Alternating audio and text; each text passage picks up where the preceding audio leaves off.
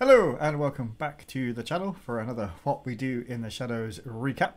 Uh, this is the third episode of the first season, Werewolf Feud, uh, and it's one of my favourites.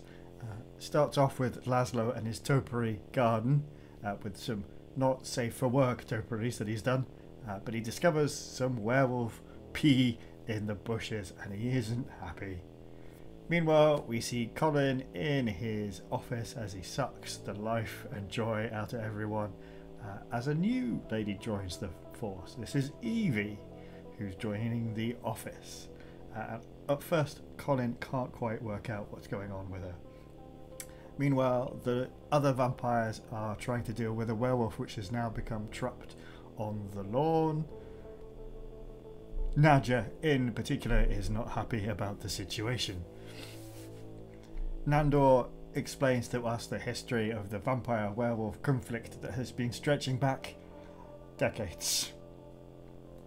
They argue about what to do with the injured werewolf, but he uh, gets up and ta- takes himself away. At this point, Colin is discovering that Evie is an emotional vampire, so he sort of bores people and she just makes people cry, essentially, or depresses them.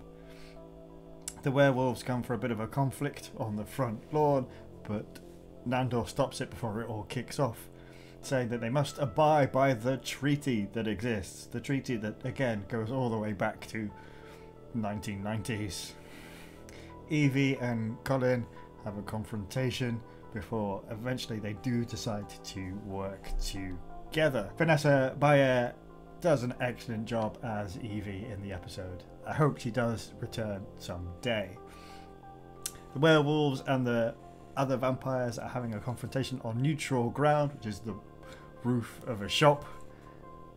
It's a big, big werewolf that Nandor apparently has to fight, but the payoff to this whole sequence is just fantastic. And we lean into the dog jokes. I mean, the werewolves are one of the best things about the world of what we do in the shadows. It was true in the film and it's true in the, the series.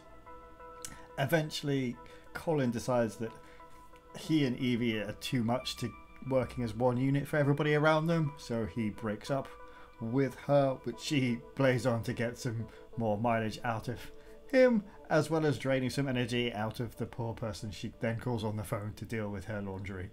It's a fantastic episode. Both the A and B plots are fantastic for this one. Uh, yeah, we'll have another quick catch up soon.